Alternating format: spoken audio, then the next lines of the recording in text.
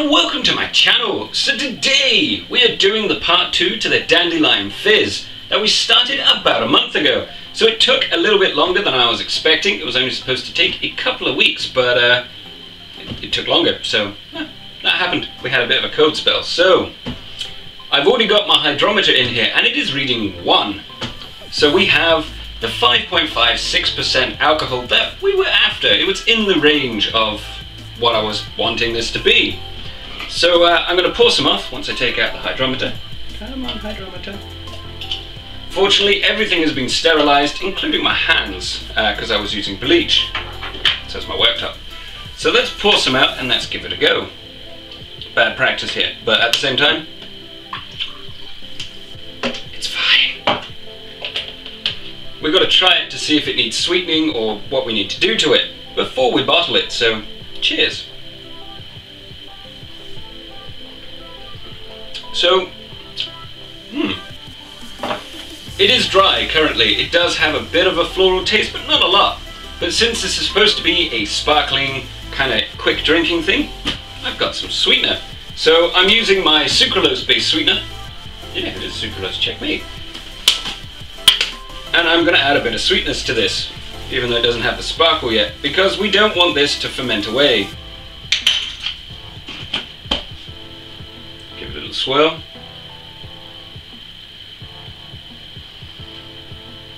Cheers.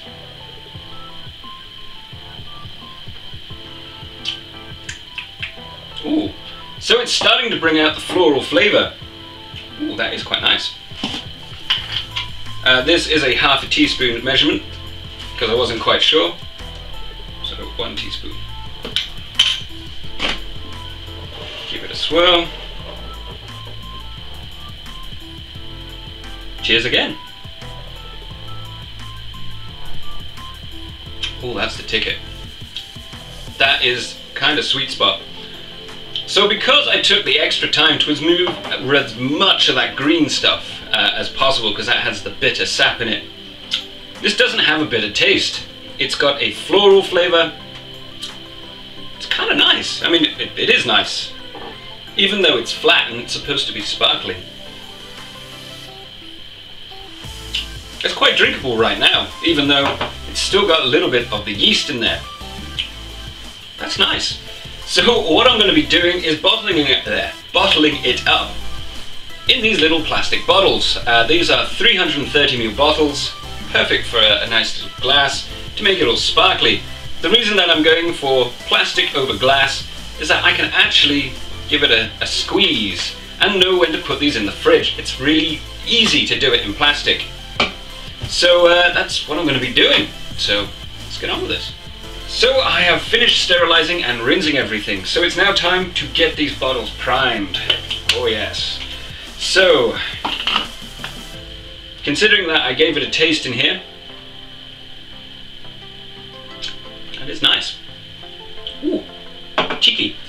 I'm going to be using two teaspoons per bottle sweetener.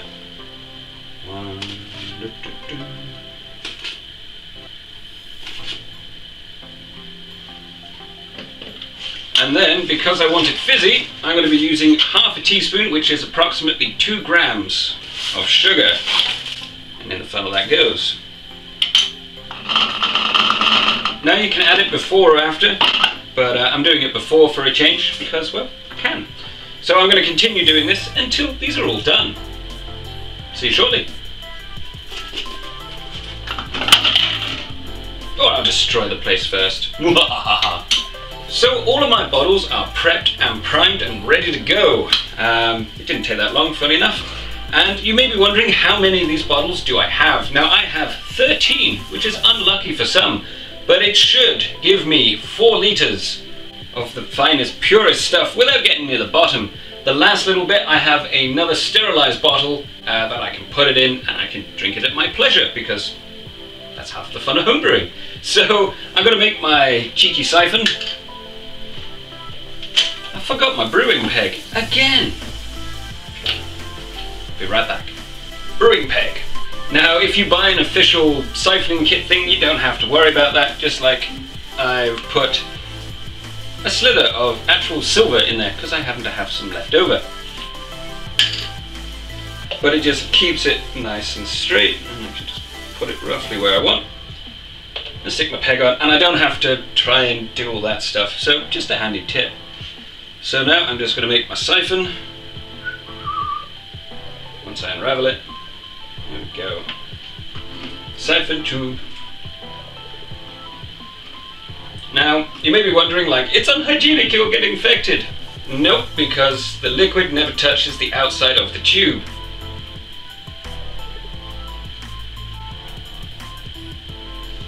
There we go. So I have 13 of these bottles to fill, and uh, I'll be back once I've done them. So my bottles have been filled. My 330ml bottles I topped up to the top, so that's about 340ml per bottle. That brings us up to about four and a half litres with this much left over, which is just mainly yeasty crust of doom. And you don't want that bit. That, that bit, well, yeah, that's nasty. So now we've got these in our bottles, we're going to give them a shake just to make sure the sugars... Oh, okay, I'm going to close the lids properly. ah, it's fine, I just cover myself in booze. I love it. So now the lids are closed properly, I'm going to give them a shake and I'm going to check each one. This will dissolve in the sugar. Now I haven't degassed these because they're going to be sparkling so there's no point degassing it. Just adds that little bit of extra fizz. So I'm going to go through and clean up uh, my laptop screen and stuff once I've shaken all these up. I'll see you once I've done that. Covered in booze. So every single one has been shaken and the sugar in here has been dissolved because solid particles of sugar are so concentrated that they actually kill yeast. Who knew? So every single cap wasn't tightened down completely, uh, so what's a good thing that I did that step. So uh, 5 litres of dandelion champagne made 4.5 litres once finished, which is pretty cool. If I'd made it in a proper demijohn, I would have got less. I would probably got 4 litres. Uh, there's a bit that I spilled, there's a bit I drank, and these were added up very slightly, so, and some waste. So, that's why I like the 5 litre containers. They actually give you the equivalent of 6 bottles of wine. It's pretty handy. So, I'm going to leave this now for about a week and a half, or until these plastic bottles are firm. It's the great thing about using plastic over glass.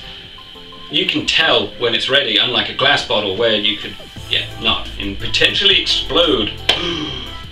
It won't, there's not enough sugar, but it could if you didn't know what you were doing. So I hope you enjoyed this video. Don't forget to comment, rate, like, check out the other videos, and of course subscribe. And uh, yeah, I'll see you later. Carry on homebrewing. It's really nice, just as it is.